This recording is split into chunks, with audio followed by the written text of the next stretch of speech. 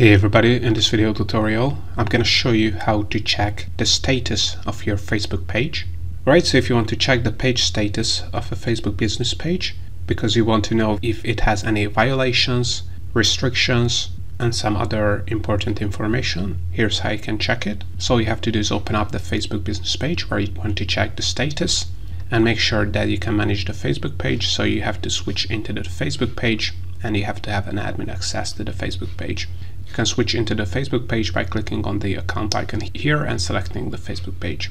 Once you are switched into the Facebook page, all you have to do is click on this three dots option here and selecting page status.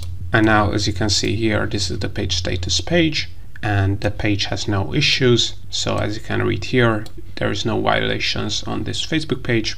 If you have any community standards violation, you're gonna see the status of these violations you can also see whether your Facebook account has any restrictions. So as you can see, currently this account looks good. The page is recommendable. So as you can see, Facebook will recommend this page if you are posting good content on it. But currently the Facebook page is not monetized. So as you can see, restricted monetization, if you click on that, this will open up probably the Meta Business Suite where you can see why your Facebook page is not yet monetized and what kind of monetization options you will have if you reach certain milestones. But all in all, this is how you can check the page status of Facebook business page.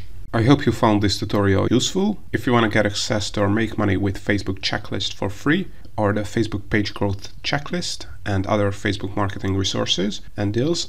Make sure to check the links in the description below. Also, if you want to learn more about how to use and grow your Facebook pages and groups, make sure to check out our YouTube channel and playlists because we have over a thousand free tutorials on Facebook and other marketing platforms.